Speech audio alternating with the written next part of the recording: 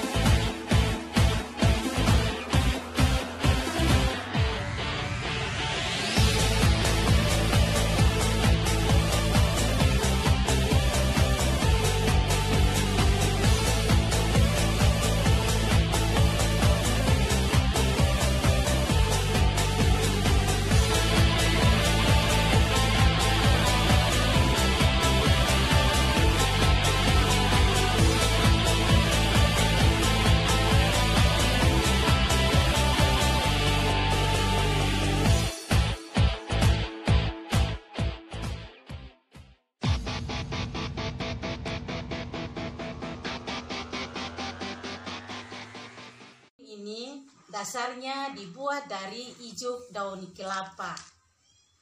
Kemudian dianyam, dianyam lalu dibuat. Jadi satu piring ini dia jumlah ijuknya em- 84 ijuk daun kelapa.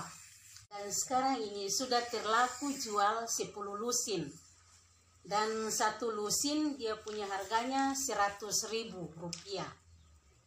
merupakan satu kebanggaan kami bagi pemerintah Desa Serau untuk lebih kami tingkatkan lagi kualitas daripada kreatif ibu-ibu ini sehingga mendorong terciptanya lapangan pekerjaan yang kuat untuk mengurangi semua pengangguran yang ada di Desa Serau.